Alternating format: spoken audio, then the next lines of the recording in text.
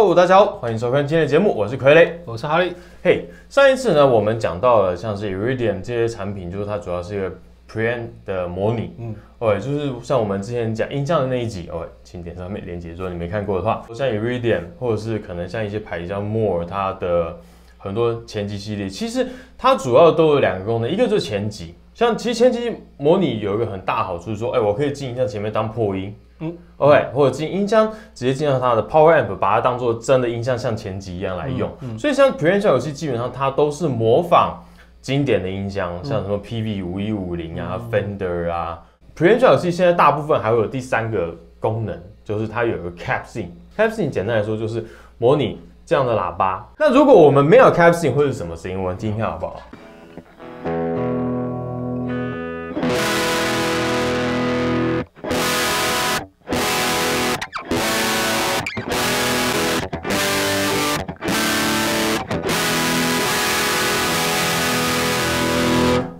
吉他声音的 range 那么大，可是我们其实箱体它会把它的 range 限制在这边，这就是我们听习惯吉他的声音。所以说，当你没有箱体模拟的时候，它的声音没有被限制住，就是它的所有低中低中高频就啪全部往外喷，对，就会造成说你的声音很杂。我们今天要介绍这个产品叫 Rad 哎呀 Radar Radar 雷达，雷达它就是一个专门针对音箱模拟使用的产品，叫箱体模拟。好，那我们现在来听听看，如果我们 Capsing 打开会是什么样的声音呢？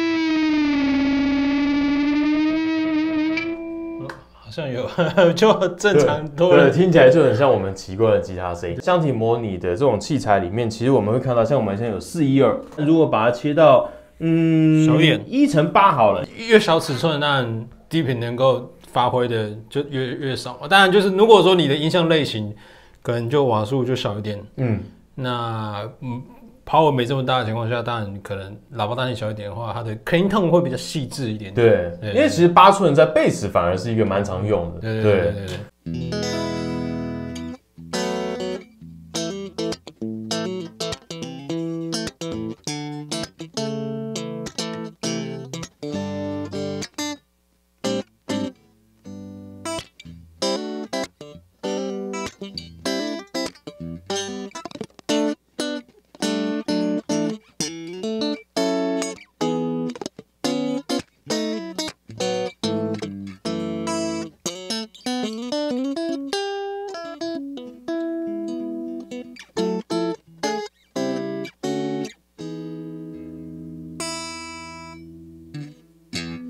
嗯，我觉得那个亮的感觉就，然后还有那中频，我觉得反而中频上，因为低频少了，就变成那个其实清脆脆的一些对声音。对对，哎、真的蛮蛮好听的。那其实还有另外影响很大的，就是这个麦麦克风。对，麦克风其实差别是超级大。像我们 S M 五七这个麦克风，哎、我们现在其实我们拍影片的，就是我们用用的真的音箱是用 S M 五七收，它算是一个真的很经典的麦克风。标准，所以现在是在 S M 五七，的状态。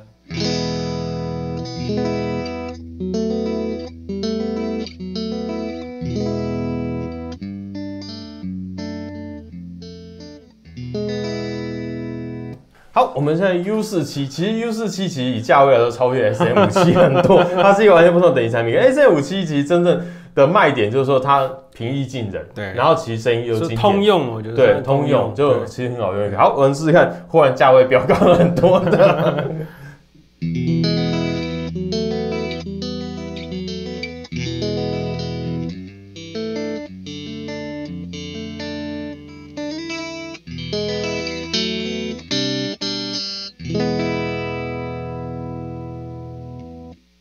过去我们做这些音箱啊、效果器这些，最大一个很大的问题就是收音。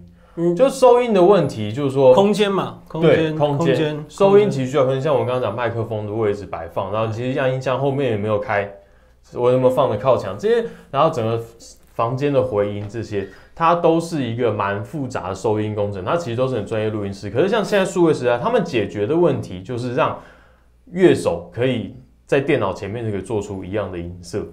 入这种这种也是入门门槛啊。嗯，然后其实东西小，不见得说它就是不专业。